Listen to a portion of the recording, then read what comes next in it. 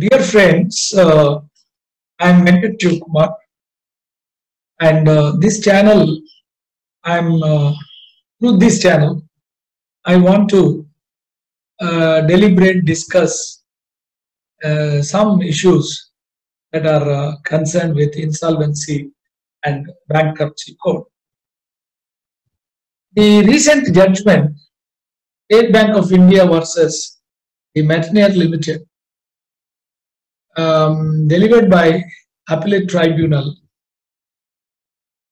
saying that the resolution professional proposed, interim resolution proposed, uh, professional proposed by the State Bank of India is uh, suffers from um, bias. The same thing was taken by the Honorable Adjudicating Authority, the principal bench at uh, Delhi, and also the appellate body upheld it. Right.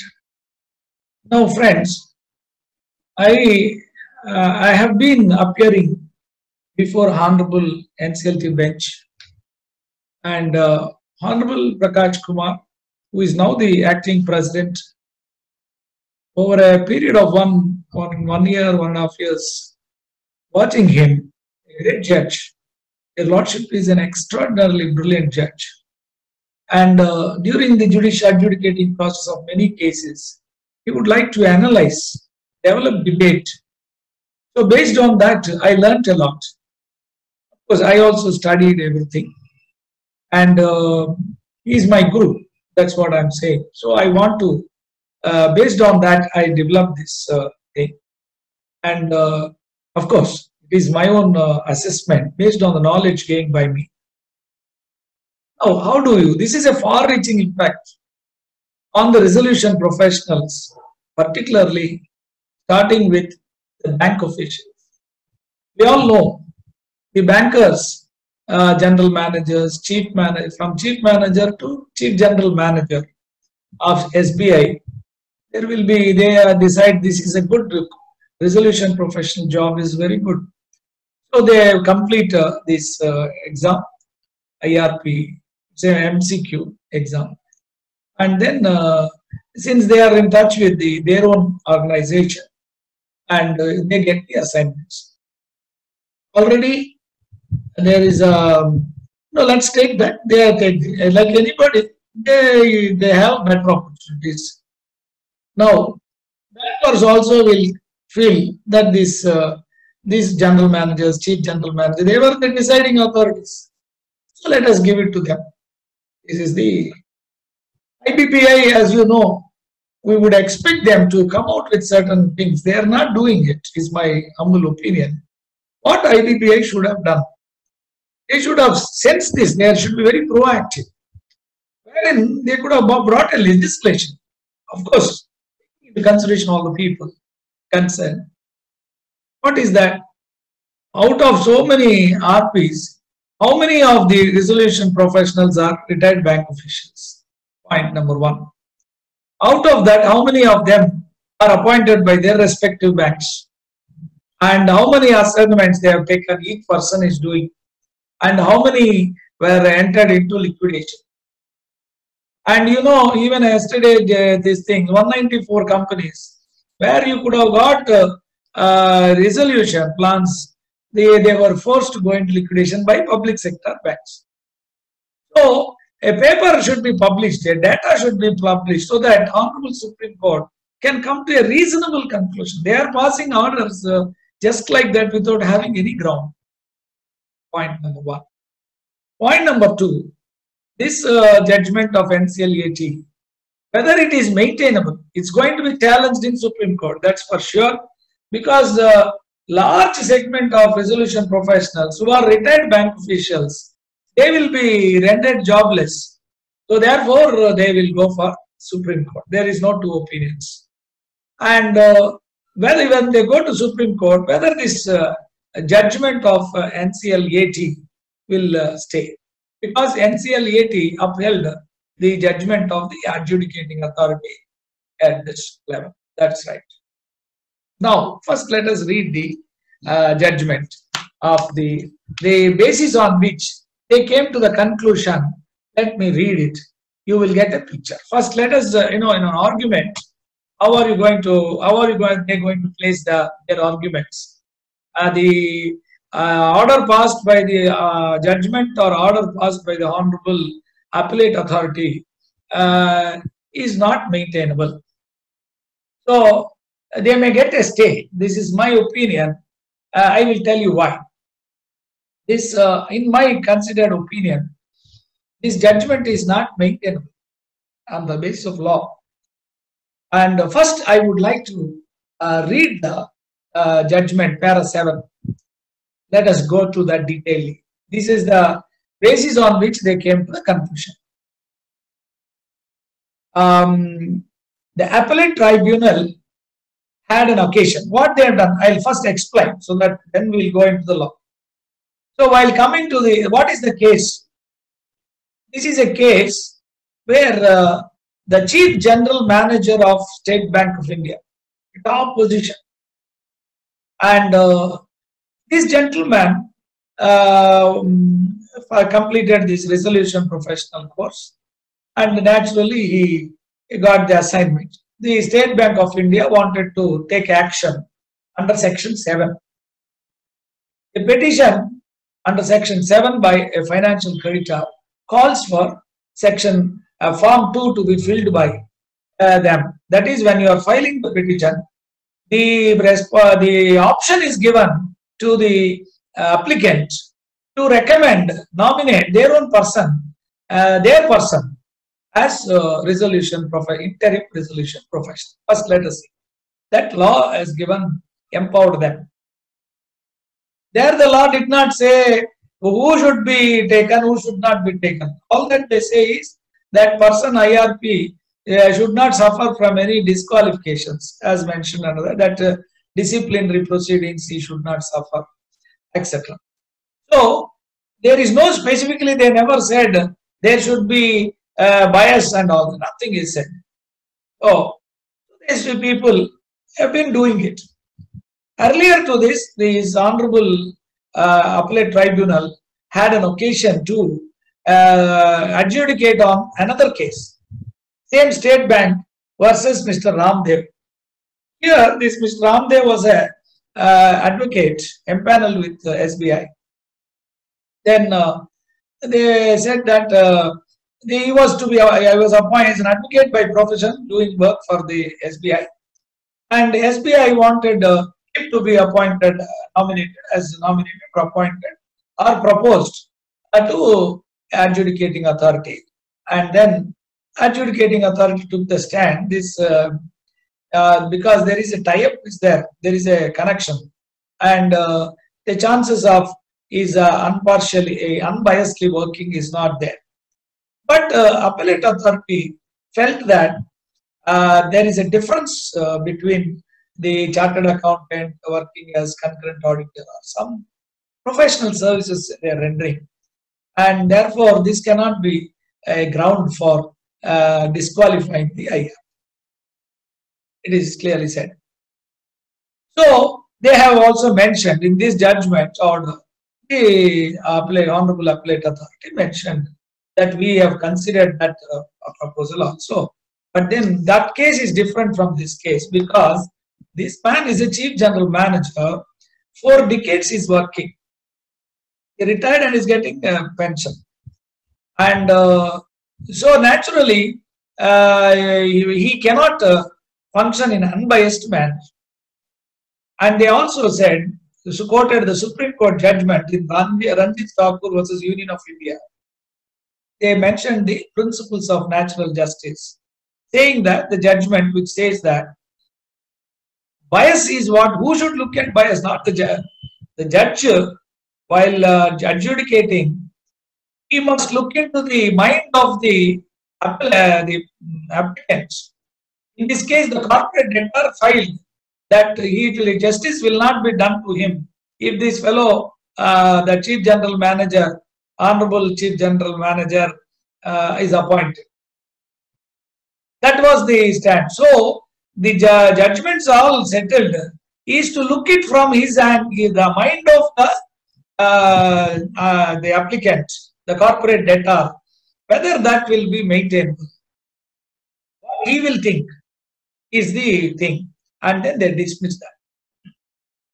Now, the jurisprudence uh, of these uh, principles of natural justice, let us go to uh, Lord Denning, and that is the famous judgment of Lord Denning, and in R versus Liverpool Company.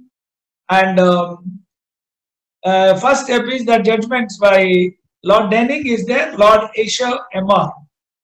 The question is not whether in fact he was or was not biased. That is whether the judge is biased or not biased. The court cannot inquire into that. In the administration of justice, whether by a recognized legal court or by a person who, although not a legal public court, that is a quasi-judicial body or a tribunal, are acting in a similar capacity. Public policy requires that in order that there should be no doubt about the purity of the administration, any person who is to take part in it should not be in such a position that he might be suspected of being biased. Now, I'll take Denning. Now, Lord Esher in that uh, uh, Liverpool City Justices, uh, that case, uh, we are discussing. And uh, the Lord Denning said, what is the difference between actual bias and likelihood of bias, real likelihood of bias? Actual bias is immaterial. Real likelihood of bias is very important. You see here said, the court does not look at the mind of the justice himself, that is the adjudicating authority, or at the mind of the chairman of the tribunal, or whoever it may be who sits in a judicial capacity. It does not look to see if there was a really real likelihood that he would or did, in fact, favor one side at the expense of the other. The court looks at the impression which would be given to the other people so the whole subject matter is very clear. Here is the uh, applicant uh, who, who felt that you appoint this uh, chief general manager as IRP, justice will not be done to me, is what is the thing. And that is upheld by the tribunal. For that, they have cited the judgments of the SBI versus Ramdev. That was the case. Why they have refused in that case, they haven't answered. And then why these people are now dismissing the uh, fellow uh, that chief general manager is to be replaced. Uh, Ranjit Thakur was Union of India. They have found it. That's all. This is the case. I'm now going to discuss the legality first. Legality, legally, it's a, this is a, a procedural IBC uh, law is well settled. There is no place for equity, and it should be only law interpretation of law. And uh, we will not go into the mind of these people and then common law, the law, it is not there, well settled. This is the stand that you should take that Supreme Honorable Supreme Court has very clearly said in the latest Essar Steel, Satish Kumar Gupta, Swiss Ribbons case, or any number of cases, they are saying there is no place for equity. Every adjudicating authority must uh, go by the law. That's all. Now, Okay. Now, what is that these people have done? The Honorable Appellate Authority which upheld that, whether that judgment is maintainable. Now, the first question will be placed before Honorable Supreme Court in a challenge is, you are telling that uh, the Chief General Manager proposed by the State Bank of India will be biased. All right. Yes, he will be biased. But the question is, what function is doing? IRP, is he a quasi-judicial officer? Is he a chairman of a tribunal? Is he doing any function that is adjudicating justice administration system? Is he doing? No. The IRP will not do anything such. And uh, now the question is, when will you apply that concept of bias? Principles of natural justice one of the limbs of principles of natural justice is bias. So, whether this person is adjudicating authority, has got a quasi judicial function? No. Honorable Supreme Court very clearly said, very clearly said, which I'll read out, and everything I'll read out, law, that this man is a facilitator. He should be governed by COC. The IRP and RP are uh, have to go by COC. And that is why 66% is given. And Supreme Court took a stand. The commercial wisdom of uh, the COC is not justiciable. Now, who will give, who will not give, will be between them. And then IRP is not a, a judicial officer. When they, he is not a judicial officer, where is the question of bias? Therefore, this case will die with state, will be stayed. That's all. Is my first uh, considered opinion, first part. So, uh, let, us take law, judgment by judgment. Oh, what are all the relevant judgments uh, necessary?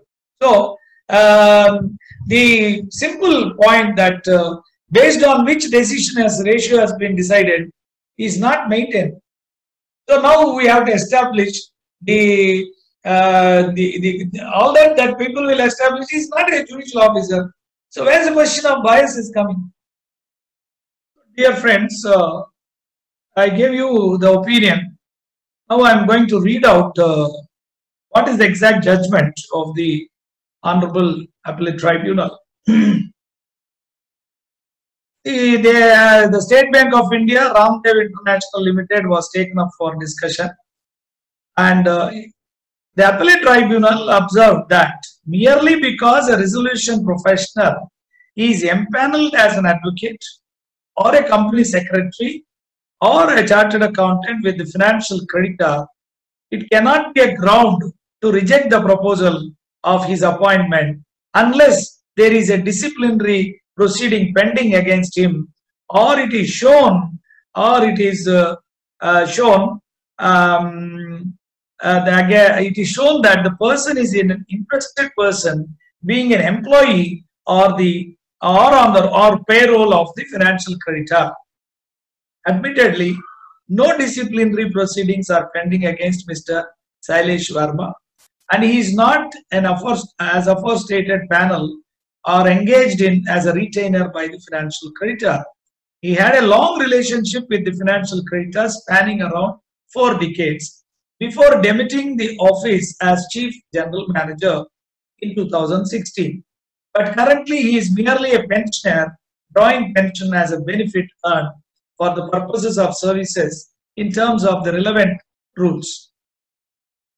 But uh, that is uh, in this appeal they further say um, uh, the appellant, appellant restricted his choice, uh, choice to the propose to propose Mrs. Shailesh Verma.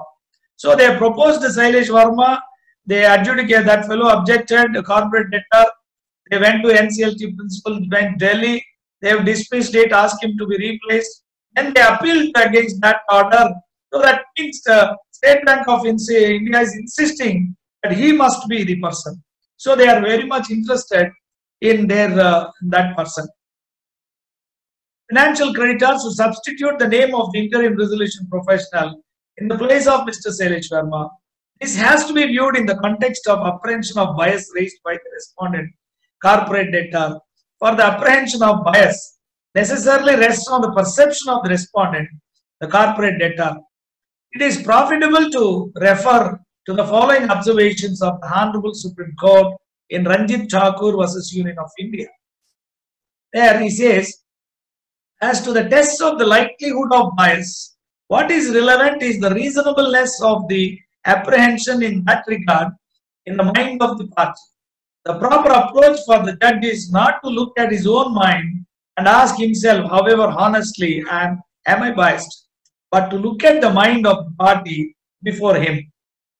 The fact that the proposed resolution professional, Mr. Sailesh Verma, had a long association of around four decades with the financial creditor, serving under it, and currently drawing pension coupled with the fact that the interim resolution professional is supposed to collate all the claims submitted by the creditors, though not empowered to determine the claims besides other duties embedded in section 18 of the INB code, raised an apprehension in the mind of the respondent, corporate debtor, the Sailesh Verma. Okay. Now, how will the case be going before the Supreme Court? We are going to check. Now, the role, what is the role of this RP?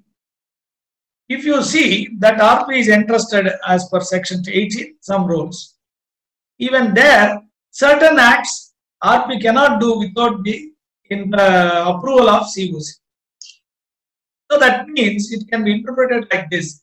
Those duties which are not mentioned as requiring approval has to be done independently by so that is collation of claims, taking control of the business, assets, custody, running the um, company as a going concern, all these things they have given. The act is jumbled, that is the problem.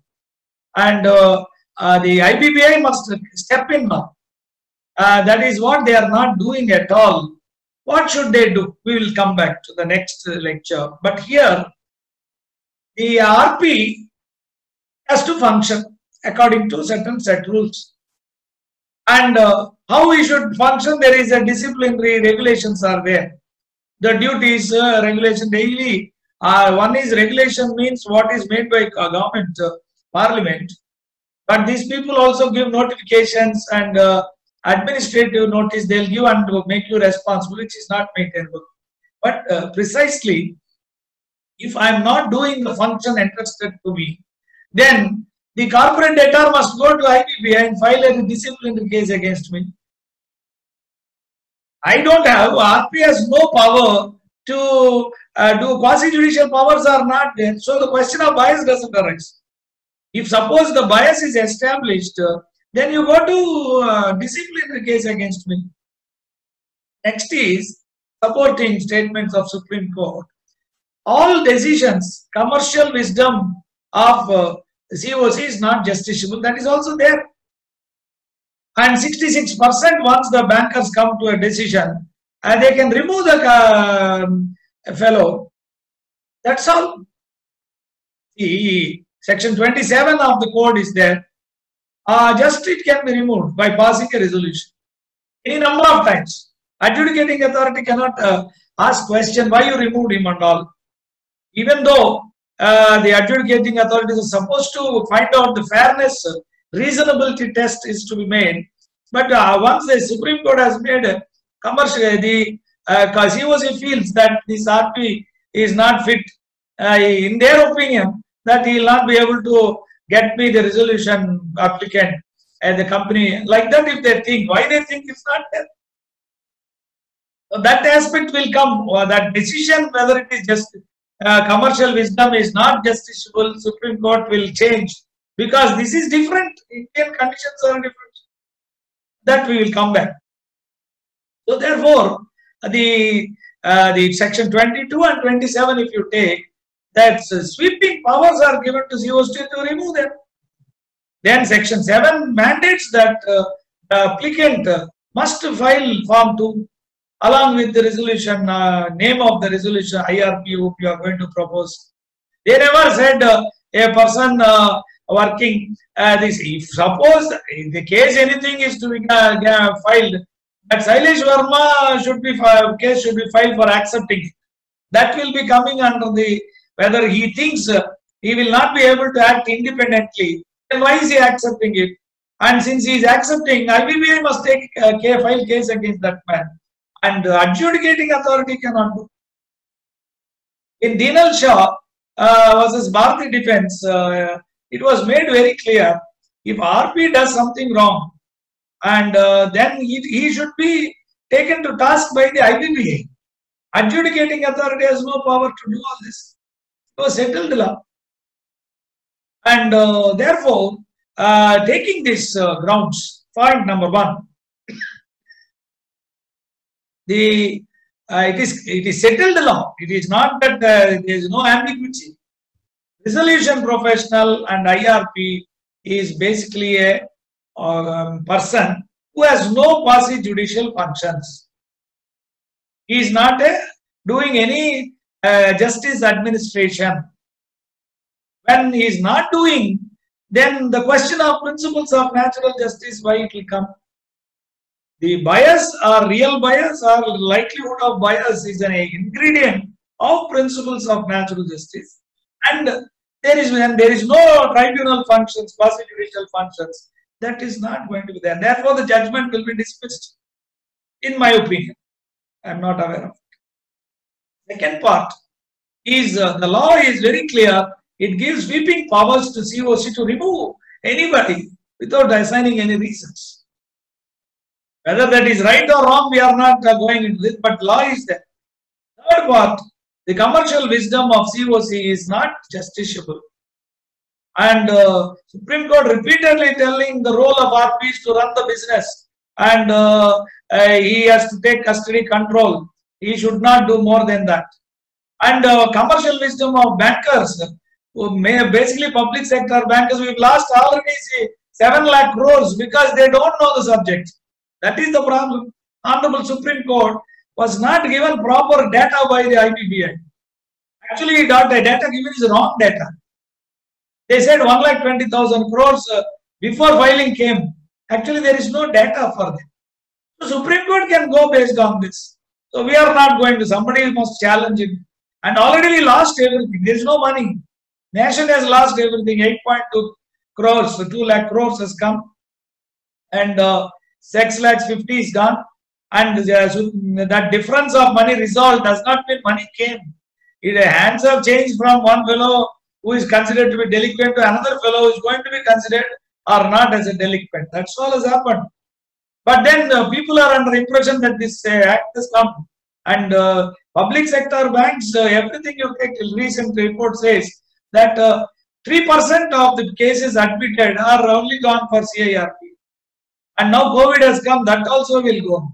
And 97% are going for liquidation. Another report come yesterday that 217 companies where you could have got resolution job, you have not, uh, uh, they, they have pushed it to liquidation, public sector. No reply from these things. So therefore, on all these grounds, this case is uh, uh not uh, going to uh, be maintained, I understand, because where is the need for exercise of judicial functions is the subject matter of our discussion. And um, I only humbly appeal to IBBI. There is a, see, VP Singh, Honorable uh, Adjudicating Authority, who is excellent judge, you are passed an order on that um, Bharati Defense. You must read a beautiful order. And uh, there is anguish how these people are misusing the law. And the law, the IBC has been totally misused by the corporate debtors and then lenders. And they either minting money or corporate debtor is coming out of his liabilities at the cost of the nation. The people savings money is gone. So that is their anguish. Uh, from their angle, IBBI must have taken up this into consideration. And my humble appeal to Mr. Sahoo, instead of going on giving interviews, it's going doing well. Oh, he's not replying. Why? 7 lakh crores we lost. He should do one thing that uh, the, the, the, the, entire objective of the law is to keep the company as a going concern and the CIRP process is to be live, then only will get agreed. But what is the law which uh, makes these uh, bankers who are disturbing that they don't know which banker is having experience to run a company. They are mere lenders. What happened? The entire public sector, the GMs, CGs, chief managers retire and they will become RPs. And uh, we are telling it is not wrong or right or anything. But then they should take totally RPs are there. Out of that, how many RPs are retired bank officials? How many of them are having assignments? How many assignments? In that, how many assignments have been successfully dealt with? One report, data if they prepare, cat will be out of the bag. Then uh, you, you know naturally this is a this is a system failure. Now there is no the out of the hundred uh, RPs there is 95 people don't have work. Big four will be there and few people only have the work. And so where is the strengthening of this uh, ecosystem?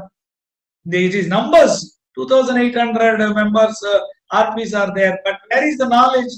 And everybody wants. Uh, have you done any job? This is what everybody is asking RPs when they apply for it. They are ready. I am telling you, uh, honestly, one GM of the great bank retired, and uh, then he, I got uh, one assignment for him as IRP because I was arguing for the case.